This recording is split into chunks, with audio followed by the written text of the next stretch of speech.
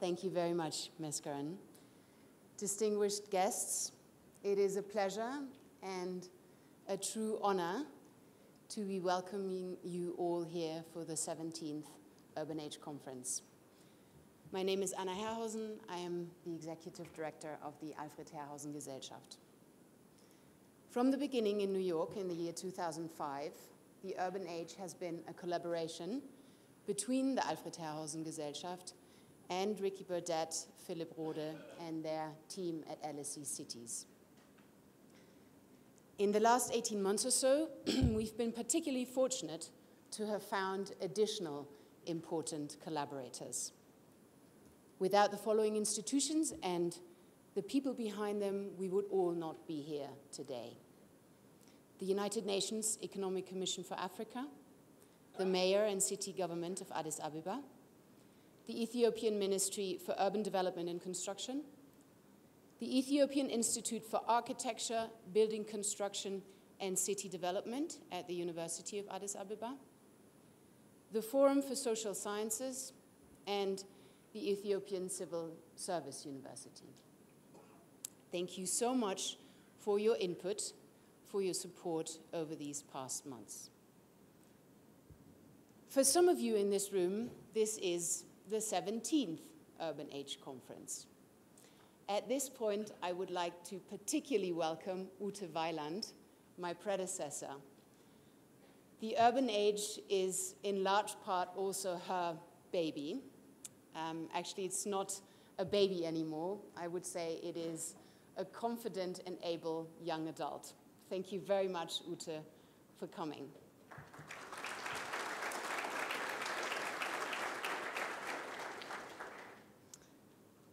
For some, uh, like me, this is the fourth or maybe the fifth Urban Age Conference. And I believe for many of you, it is the first. So I hope that all the veterans in the room allow me this brief introduction. All of you in this room are here because professionally you connect to the phenomenon of urbanization. You come from city or national governments, from academia, from businesses, from the media, from civil society organizations, or from the arts. You govern cities. You research cities.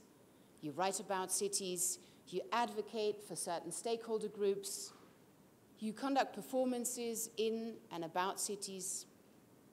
You build cities.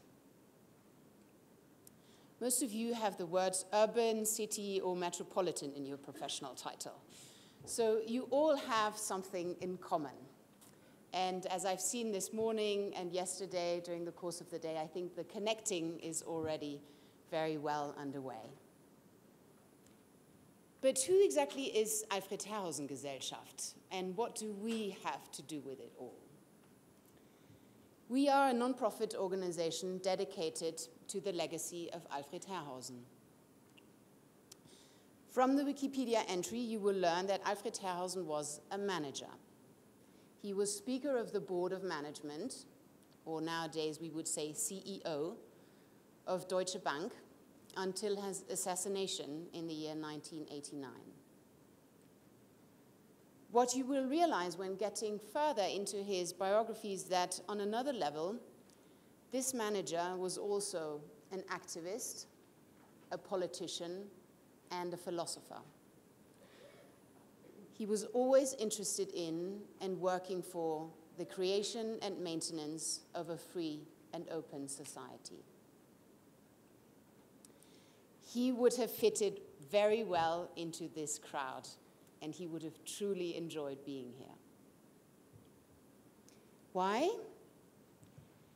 because he would have understood that the world's urban age is upon us and that this final leap towards the urban age needs urgent exploration.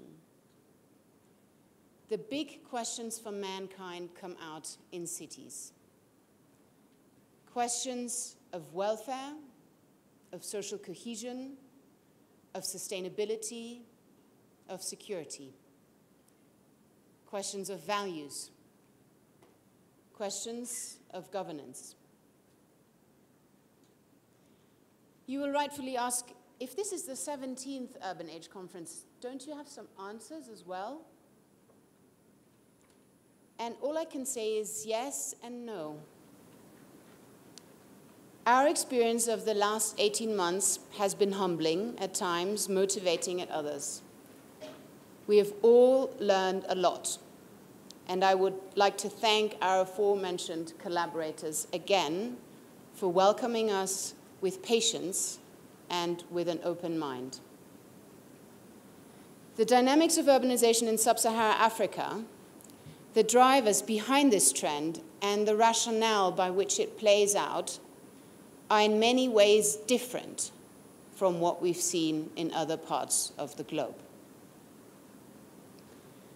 The current challenges, however, and I'm aware that this is a strong statement, but I wouldn't be here today if I didn't believe it, the current challenges are arguably not so different in Addis Ababa than they are, or perhaps have been, in Medellin, or in Singapore, or in Leipzig, for that matter.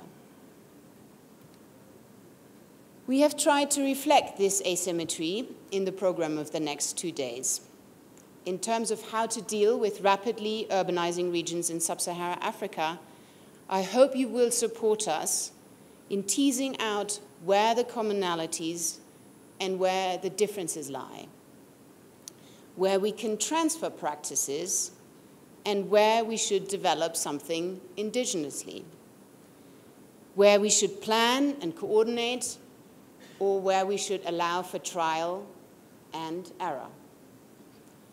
I hope you will all contribute to the discussions and I hope you will all take something valued away from them.